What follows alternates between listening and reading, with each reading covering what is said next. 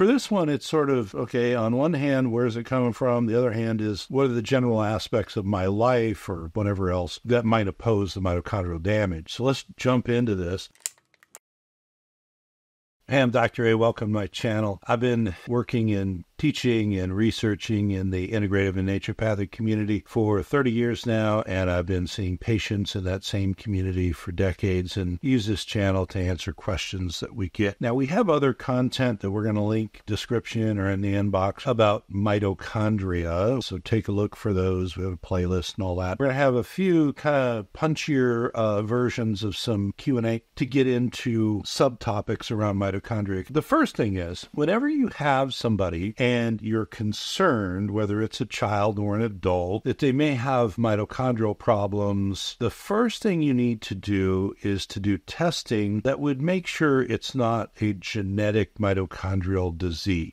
Now, most of these are tested for in children because, of course, they're born with the mitochondrial genetic disorder. But there are some that are genetic slowdowns or not quite at the disease state or at a more of a functional, you know, genomic state where the mitochondria just aren't working like they ought to. So the first thing always is, you know, do no harm and make sure, you know, you're still going to have to treat it, but make sure that they don't have a hard hardcore genetic mitochondrial disease. So that's the first thing to kind of take off at the top on the why question. The next thing is the mitochondria are inside of your cell. There's a lot of them. Each type of cell has different amounts of mitochondria. But the mitochondria are inside your cell and they're running your cell by providing energy to your cell. So they're very sensitive to the things that go into the mitochondria to make energy inside the mitochondria. And then they're very sensitive to things that build up on the outside of the mitochondria mitochondria, we have mitochondrial respiration, moving in of oxygen and moving out of CO2, but also of junk.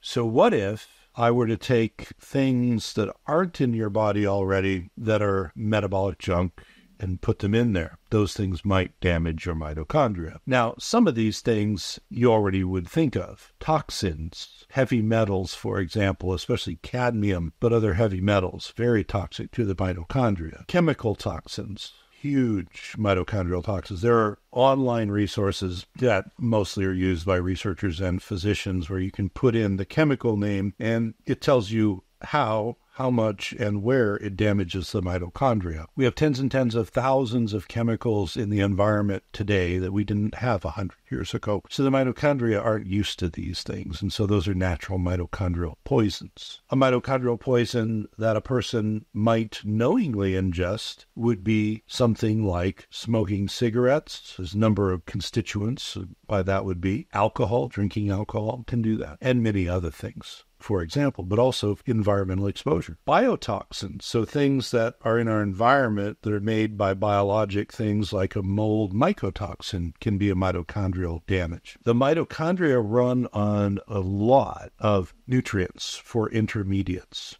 So a lot of B vitamins in there. Coenzyme Q10 is in there. Lots of trace minerals go through there. A whole bunch of nutrients go through the mitochondria. So poor diet and nutrient insufficiency or frank deficiency will slow your mitochondria down. Other insults chronic illness. Chronic illness will have a feedback mechanism by which the body will go to the parts of the cell that set the rate that the mitochondria run at and literally turn the rate down because you're chronically ill and the body's protecting you from having too much energy, which seems like a bummer, and it truly is if you have a chronic illness. So, chronic illness actually is a self supporting mitochondrial damage. So, part of dealing with chronic illness is unwinding that. So then the other side of the question is what do I do about it? Well, the main thing is once we rule out a genetic cause for mitochondrial problem, the majority of mitochondrial problems are functional, they're acquired, and usually they're acquired by things like toxic influences, drugs. There's a lot of drugs that we use and take that are mitochondrial damaging drugs, outside influences like alcohol, cigarettes, etc., obvious toxins like toxic metals. Chemicals and then biotoxins like mold toxin. So the first thing is is to take a look at the landscape of your life and reduce all of that as much as possible. That might mean making sure that you cook with filtered water to filter out, you know, metals and chemicals. A lot of people will get deionized water, which is kind of pure, especially if they live alone and they use up a jug every week and that's what they